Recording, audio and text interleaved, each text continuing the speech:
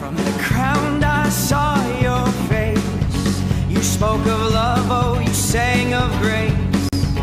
But come the night when the light is gone. It's in the dark that my deeds are done.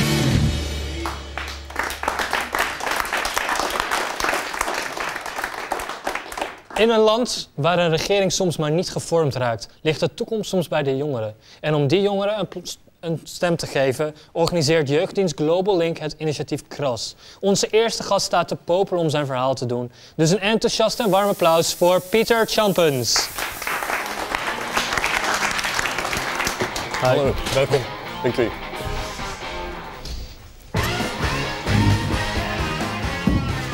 Hi, welkom voor het komen. Ehm, jij bent een eh krasbegeleider. Ehm, wat houdt dat precies in? Ja, ik ben ehm, niet echt een krasbegeleider. Ik werk bij jeugddienst Globelink. En we zijn een jeugddienst die eh, van alles doet met jeugd en jeugdbewegingen en scholieren. En een van onze projecten is het scholierenparlement.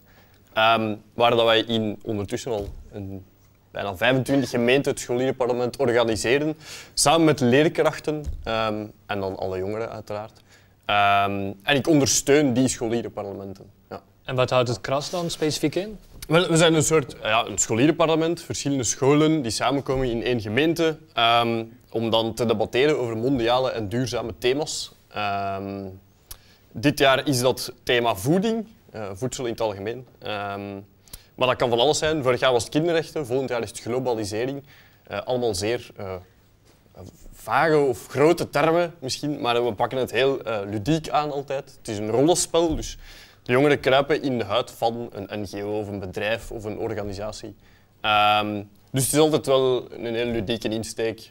Ja, je speelt eigenlijk tonelen en vanuit die opzichten ehm, ga je zo'n thema bekijken. Oké, in ieder geval bedankt voor deze uitleg alvast. Want nu Ja. weten we al een beetje meer wat kras is. Maar hoe gaat het concreet in zijn werk? Jongeren die aan een zitting houden met lokale politici, dat moet wel interessante beelden opleveren.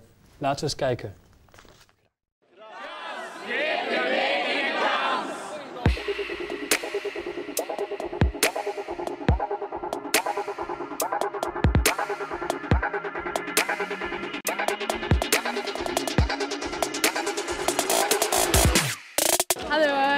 Eliana Richard En ik ben Els en wij staan hier op de Grote Markt in Leuven. voor de slotzitting van het scholierenparlement.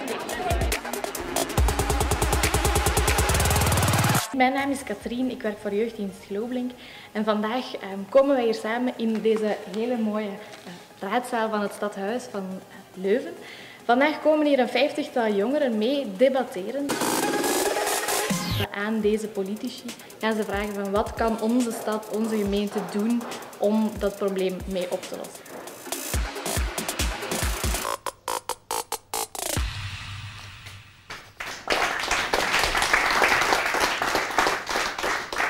En eh, we hebben nu dan kunnen kijken hoe jongeren, hoe dat eigenlijk te werk gaat, een beetje in ieder geval. Eh, in welke vorm denkt u dat dat invloed gaat hebben op de politiek? Voilà, dus na het rollenspel hebben we dan die lokale slotzitting in elke gemeente. En daar zitten dan heel wat lokale politici, van elke fractie, normaal gezien eentje. Eh, en dan mogen leerlingen daar hun mening tegen zeggen. Ze stappen dan uit de rol om dan hun mening tegen lokale politici te zeggen.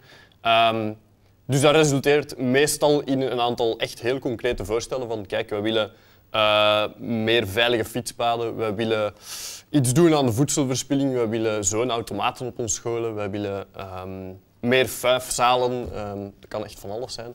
Ehm, ja, voilà. En is het dan een, hele, een heel groot team dat achter Global Link staat? Of hoe moet ik me dat inbeelden? Wij zijn met eh, negen werkkrachten. Eh, een aantal zitten op het scholierenparlement, maar daarbuiten hebben wij ook nog heel wat andere projecten met jeugdbewegingen. Eh, jeugd, jeugdhuizen, eh, speelpleinen in de zomer. Allemaal rond mondiale en duurzame thema's. Oké, Pieter, bedankt in ieder geval voor deze inleiding. En je bent niet alleen gekomen vandaag. Eh, u heeft een collega meegenomen. Dus bij deze vraag ik om een warm applaus voor Marjolein Verbergt. Hi, welkom. Welkom Marjolein, Wel, bedankt voor het komen ook. Ehm, waarom denk je dat eh Kras een vooruitstrevende jongerenorganisatie is? Ehm, ik denk dat we bij Jeugddienst Globling er eigenlijk altijd proberen voor te zorgen om echt vanuit de jongeren zelf te starten. Dat een project bij jongeren begint en dat ze zelf mee vormgeven. We doen dat door jongerenbevragingen te organiseren, maar bijvoorbeeld ook het thema eh, globalisering voor volgend jaar of voeding komt ook uit uitspraken van jongeren uit vorige trajecten. Ehm, ook in de lokale slotzittingen en de overkoepelende slotzittingen krijgen jongeren een hele grote rol. Ehm, Oké. En je zit hier nu voor een eh, publiek met jongeren, dus grijp je kans om ze te enthousiasmeren voor KRAS?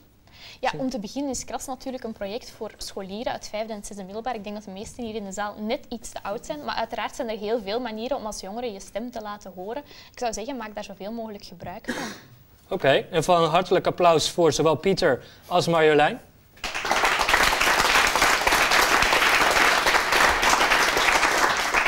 Dus dames en heren, dat was het dan voor vandaag. Volgende week ontvangen wij nog meer interessante gasten met vernieuwende ideeën. Ik wens jullie nog een goede avond en tot ziens.